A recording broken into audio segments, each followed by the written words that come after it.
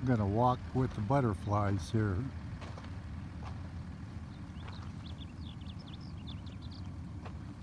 Just absolutely crazy.